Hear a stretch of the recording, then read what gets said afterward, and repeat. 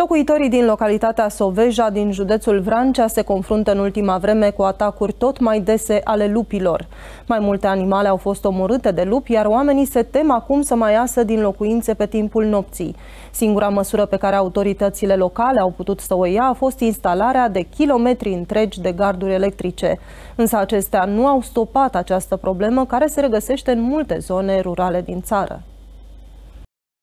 După ce au scăpat de atacurile urșilor, locuitorii din Soveja înregistrează pagube din cauza haitelor de lupi, care trăiesc în zonă. Numai în ultimul an au fost semnalate peste 20 de cazuri în care lupii au intrat în gospodării și au ucis păsări, dar și câini de pază. În gospodăria acestui tânăr, lupii vin aproape noapte de noapte și fac prăpăd. A venit pe aici, a venit drept la garaj de aici, mi-a dat de suc pe dedesubt, a cărat cocoșii toți, a speriat vacile și a ieșit cu ușul cu tot, a stricat tot. A venit pe urmă, mi-a luat a doua oară, a venit odată la șase jumate, șapte, a doua oară a venit pe la șapte jumate și mi-a luat câinele. Este vorba de aproximativ 11 exemplare de lup, practic o haită, care în ultimele săptămâni au dat iama în mai multe gospodării.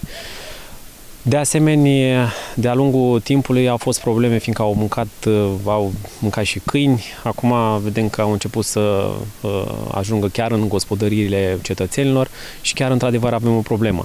Potrivit uh, celor de la direcția de la ocolul silvic Soveja, se pare că la acest moment, pe fondul cinegetic 22 Dragomira, avem acele 11 exemplare, o haită de 11 exemplare de lup, în care, din câte știm în urma evaluării, se pare că numărul optim pe acest uh, fond uh, cinergetic ar fi de 3. Deci, într-adevăr, vedem că lucrurile nu mai sunt, uh, nu putem să le ținem sub control.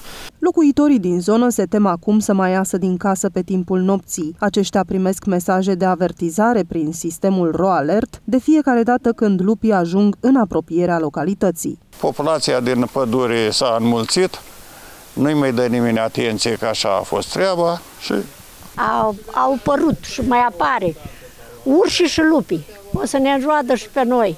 Autoritățile locale încearcă acum să limiteze aceste atacuri. Pentru asta au instalat 7 km de garduri electrice în zona limitrofă pădurii, însă acestea nu sunt suficiente. Pentru anul următor se discută dublarea rețelei de garduri electrice. Am instalat garduri electrice pe o lungime totală de 7 km uh, și asta de principiu noi le-am montat uh, în uh, intravilanul unde se face trecerea de la intravilan la extravilanul localității.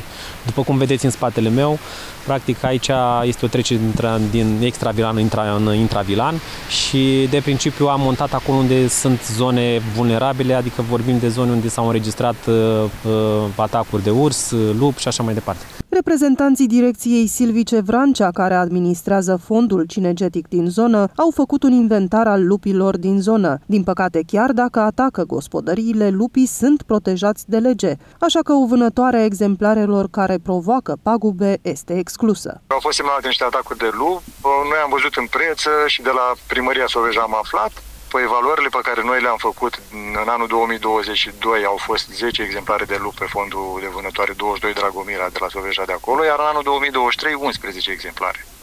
Dar să știți că lupul e un animal care parcurge distanțe foarte mari într-o zi și se poate poate migra de pe un fond pe altul. Lupul este o specie protejată integral, nu avem cote de vânătoare la special lup.